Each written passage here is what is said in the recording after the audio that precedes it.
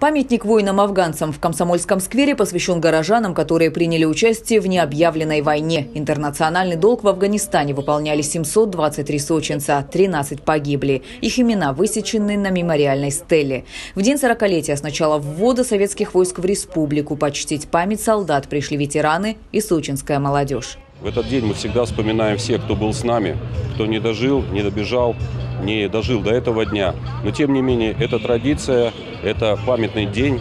И по всей России, Краснодарском крае, на Кубани афганцы приходят на наши афганские памятники. Многие и большая часть афганцев занимаются патриотической работой, выступают перед школьниками, э, занимаются военно-патриотическими клубами, то есть передают свой боевой опыт и патриотизм.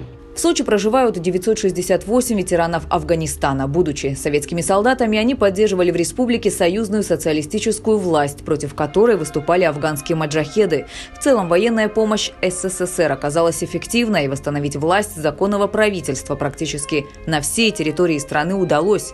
Всю эту историю знает и подрастающее поколение. Сочинские школьники на митинг пришли подготовленными.